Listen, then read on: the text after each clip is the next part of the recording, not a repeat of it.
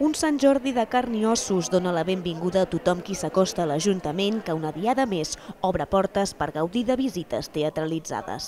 Es va voler que fessin part també Tampoc no han faltat les parades de roses de les entitats del tercer sector que l'alcalde Xavier Trias ha visitat una per una per animar a comprar roses solidàries. Trias ha destacat el civisme amb què assegura es viu aquesta diada, per ell el dia més bonic de l'any. Té una diferència sobre qualsevol festa i és que és el dia del patró de Catalunya, però al no ser festa, la gent el disfruta en el carrer. No?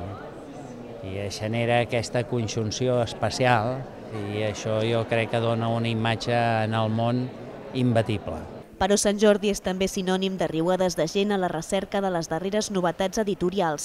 Enguany, els protagonistes han estat les moltes edicions que giren a l'entorn del tricentenari de 1714 i fins i tot hi ha algun autor que ha signat exemplars de la seva obra amb una ploma de fa tres segles.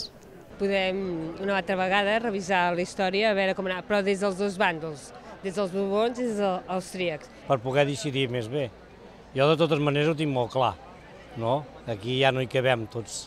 Llibres d'història, però també ha tingut molt èxit un fenomen inesperat. Les parades s'han buidat de totes les reedicions de l'obra de Gabriel García Márquez arran de la seva mort fa uns dies. Això sí, no tots els llibreters han sigut a temps de reposar-ne l'estoc.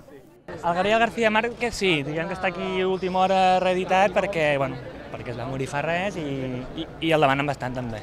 Per Sant Jordi tampoc poden faltar els autors mediàtics que congreguen centenars de persones a la captura de l'anhelada dedicatòria, però sobretot de la fotografia de rigor, i alguns autors hi posen el seu toc personal. Bueno, el perfume es que me gusta que el libro huela al autor. Y en este caso, como creo que huelo bien, pues eh, me atrevo a ponerle el perfume. Es una manera también de diferenciar la gente que ha venido. I pel que fa a les roses, se n'han vist de tots colors, teixits i materials, però La primera és la vermella i la segona estem venent molt la groga. No sabem si és per del Gabriel García Márquez, que deia que una rosa groga donava molt bona sort. els més atrevits poden acostar-se al Mobile World Center per sorprendre amb una rosa tecnològica de factura 100% digital.